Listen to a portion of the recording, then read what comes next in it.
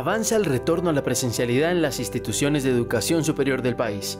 Actualmente 194 instituciones, de ellas 151 privadas y 43 públicas, iniciaron el regreso a las aulas de 1.400.000 estudiantes, que representan el 60.8% de la matrícula de educación superior. El proceso de retorno avanza en el 100% de los departamentos, donde las instituciones de educación superior tienen presencia. Ha sido un retorno paulatino muy satisfactorio.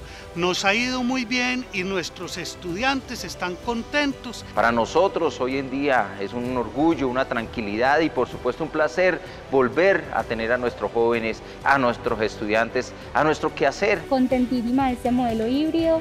Eh, compartir con los estudiantes creo que realmente es bastante importante, ellos se sienten muy cómodos acá. Muy importante para no solo para nosotros, sino para los estudiantes porque eh, ayuda en ellos en la parte cognitiva, en la parte del hacer. Es muy importante el retorno a la institución.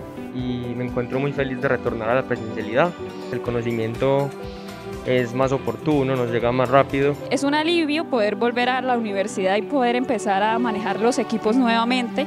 Veo que están llevando un orden todos los estudiantes, profesores. Me siento feliz, motivada, eso era lo que estábamos esperando todos, que abrieran la puerta del campus para volver a las clases presenciales. Personalmente estoy muy contento de volver a la U después de tanto tiempo y saber que la universidad se ha preparado con tantos protocolos de bioseguridad para acogernos nuevamente.